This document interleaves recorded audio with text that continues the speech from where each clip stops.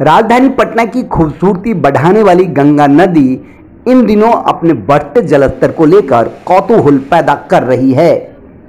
ये है एनआईटी के समीप का कृष्णा घाट। इसके समीप ही है निर्माणाधीन गंगा मैरिन ड्राइव।